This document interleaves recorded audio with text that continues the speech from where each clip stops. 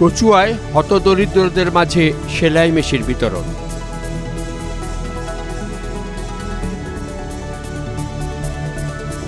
চাঁদপুরের কচুয়ায় গরিব ও হতদরিদ্রদের মাঝে সেলাই মেশিন বিতরণ করা হয়েছে।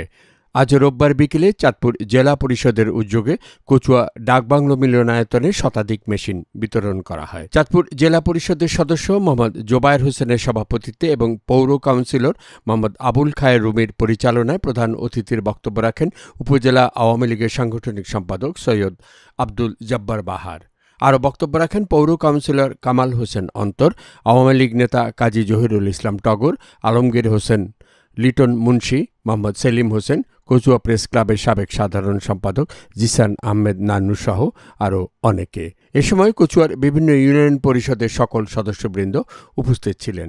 আমাদের কচুয়া প্রতিনিধি জিসান আহমেদ নান্নুর পাঠানো তথ্য ও চিত্রের রিপোর্ট।